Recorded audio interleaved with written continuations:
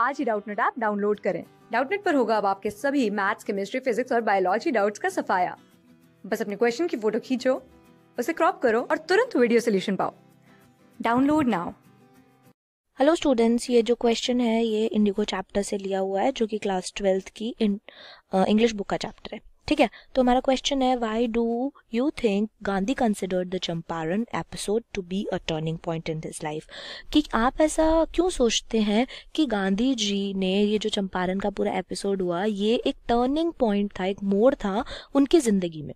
तो Gandhi consider the Champaran episode to be a turning point in his life because क्योंकि he realise उन्हें ऐसा लगा that civil disobedience जो civil disobedience है लॉ को नहीं फॉलो करना है which had triumphed for the first time जिसकी जीत हुई थी सबसे पहली बार, उन्होंने सिविल डिसोबिडेंस दिखाया और ट्रायम्फ्ड मीन्स जीत हुई उनकी, उन्होंने उसमें विजय प्राप्त की पहली बार। Could go a long way in freedom struggle वो एक बहुत लंबी जर्नी हो सकती है हमारे स्वतंत्रता के स्ट्रगल में।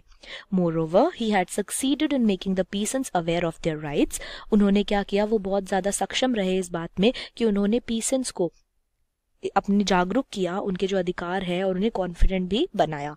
This success thus proved the effectiveness of Gandhi's method of non violence and non cooperation ये एक सक्सेस थी और जिसने ये प्रूफ किया कि गांधी जी का जो मेथड है नॉन वायलेंस का, अहिंसा का और नॉन कॉपरेशन का, ये सिविल डिसोबीडियंस का ही, ये बहुत ही ज़्यादा अच्छा तरीका है और इफ़ेक्टिव तरीका भी है इन ब्रिटिशर्स को हमारे देश से खदेड़ने के लिए। Clear thank you class six से ट्वेल्थ से लेके NEET I I T JEE mains और एडवांस के लेवल तक। दस मिलियन से ज़्यादा स्टूडेंट्स का भरोसा। आज ही डाउनलोड करें डाउट नेट आप या व्हाट्सअप कीजिए अपने डाउट्स आठ चार सौ चार सौ चार सौ पर।